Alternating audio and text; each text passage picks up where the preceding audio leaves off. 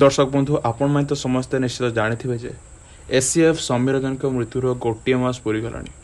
ବର୍ତ୍ତମାନ ସୁଦ୍ଧା କୌଣସି ବି ସଠିକ୍ ପ୍ରମାଣ ସୌମ୍ୟଙ୍କର ମୃତ୍ୟୁ ପାଇଁ କିଏ ଦାୟୀ ସେ ସମ୍ପର୍କରେ କୌଣସି ବି ତଥ୍ୟ ସାମ୍ନାକୁ ଆସିନାହିଁ ତେବେ ବର୍ତ୍ତମାନ ସମୟରେ ସୌମ୍ୟଙ୍କର ଭାଇ ନିଜେ ସିଧାସଳଖ ବାଧ୍ୟ ହୋଇ ସୋସିଆଲ ମିଡ଼ିଆ ଜରିଆରେ ରଖିଛନ୍ତି ବିସ୍ଫୋରକ ବୟାନ।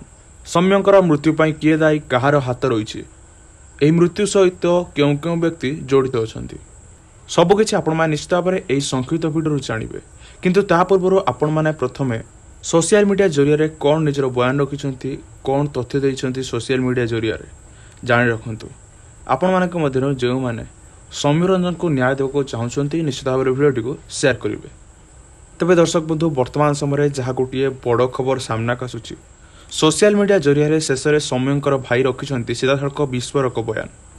ପ୍ରଥମେ ସେ ପୋଲିସର ତଦନ୍ତରେ ତ୍ରୁଟି ବାହାର କରିଛନ୍ତି ହଁ ଦର୍ଶକ ବନ୍ଧୁ ସେ କହିଛନ୍ତି ଯେ ପୁଲିସ ନିଜର ତଦନ୍ତରେ ଅନେକ ଗୁଡ଼ିଏ ଭୁଲ କରିଛି ପ୍ରଥମରୁ ପୋଲିସର ତିନୋଟି ଜାଗାକୁ ସିଲ୍ କରିବାର ଥିଲା କିନ୍ତୁ ସେମିତି ସେ କରିନି ପ୍ରଥମ କରି କ୍ୱାର୍ଟର ଯେଉଁ ଜାଗାରେ ସୌମ୍ୟରଞ୍ଜନଙ୍କ ଦେହରେ ନିଆଁ ଲାଗିଥିଲା ସେହି ଜାଗାକୁ ପ୍ରଥମେ ପୋଲିସର ସିଲ୍ କରିବାର ଥିଲା ଯାହାଫଳରେ କିଛି ବି ପ୍ରମାଣ ମିଳିପାରିଥାନ୍ତା କିନ୍ତୁ ପୋଲିସ ତାହା କରିନଥିଲା ଦ୍ୱିତୀୟରେ ଅଫିସିଆଲ ରୁମ୍ ଯେଉଁ ଜାଗାରୁ କିଛି ବି ଇମ୍ପୋର୍ଟାଣ୍ଟ ଜିନିଷ ସୌମ୍ୟଙ୍କର ମିଳିପାରିଥାନ୍ତା କିନ୍ତୁ ସେ ଜାଗାକୁ ମଧ୍ୟ ପୋଲିସ ସିଲ୍ କରିନଥିଲା ଏବଂ ତୃତୀୟ ରହିଛି ମେଡିକାଲ ଆଜି କ୍ରାଇମବ୍ରାଞ୍ଚ ମଧ୍ୟ ମେଡିକାଲରେ ଯାଇ ତଦନ୍ତ ପାଇଁ ପହଞ୍ଚି। ତେବେ କେତେବେଳେ ମେଡିକାଲକୁ ନିଆଯାଇଛି କ'ଣ ପଡ଼ିଥିଲା କ'ଣ ଟ୍ରିଟମେଣ୍ଟ କରାଯାଇଥିଲା କ'ଣ ପ୍ରେସକ୍ରିପସନରେ ଲେଖାଯାଇଛି କ'ଣ ମେଡିକାଲରେ ତାଙ୍କୁ ଦିଆଯାଇଥିଲା କିଏ ତାଙ୍କୁ ଟ୍ରିଟମେଣ୍ଟ କରୁଥିଲା।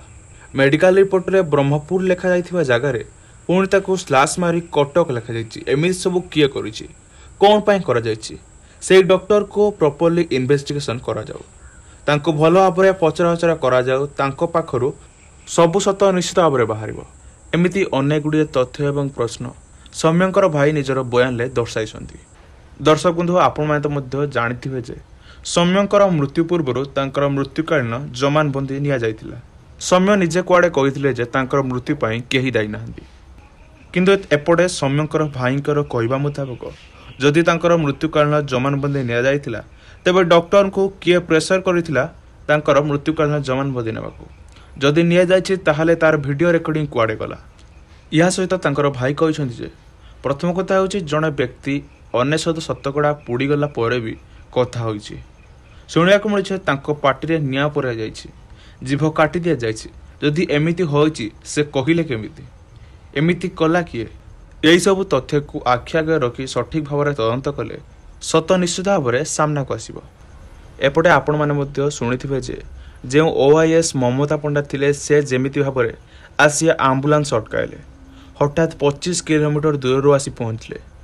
କାହା ଇସାରାରେ ଏମିତି ସବୁ କଲେ ତାଙ୍କୁ ବି ମଧ୍ୟ ଇନଭେଷ୍ଟିଗେସନ୍ ମଧ୍ୟରେ ରଖାଯାଉ। ତେର ତାରିଖ ଦିନ ଯେତେବେଳେ ସୌମ୍ୟଙ୍କର ଶରୀର ତାଙ୍କ ଘରେ ପହଞ୍ଚିଥିଲା ସେତେବେଳେ ସୌମ୍ୟଙ୍କର ଭାଇ ଆଇଆଇସି ପାରଳାଖେମୁଣ୍ଡିକୁ ଫୋନ୍ କରିଥିଲେ। କିନ୍ତୁ ସେତେବେଳେ ସେ କହିଥିଲେ ଯେ ମାଜିଷ୍ଟ୍ରେଟ୍ ଏବଂ ତହସିଲଦାରଙ୍କର ପ୍ରେଜେନ୍ସରେ ମୃତ୍ୟୁକାଳୀନ ଜମାନବନ୍ଦୀ ନେଇଛନ୍ତି ବୋଲି। ତେବେ ଏହା ପଛରେ କେତେ ସତ ଏବଂ କେତେ ମିଛ ରହିଛି ତାହା ନିଶ୍ଚିତ ଭାବରେ ଆପଣମାନେ ସମୟ ଆସିଲେ ଜାଣିବାକୁ ପାଇଯିବେ।